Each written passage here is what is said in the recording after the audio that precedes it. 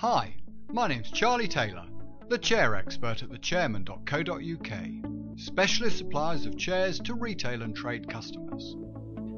Today, I'm going to talk to you about this antique style ladder back dining chair. This is a high quality chair made from solid oak with traditional mortise and tenon joints for strength and rigidity.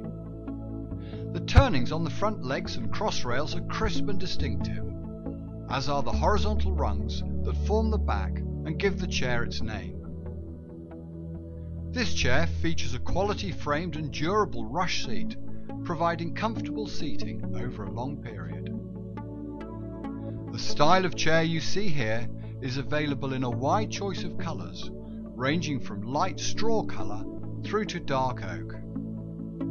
This particular chair is finished in medium oak, and all these colours can be seen by selecting the chair colour option on the website at www.thechairman.co.uk. A level of distressing is another option available, ranging from light distress to heavy distress to suit your requirements.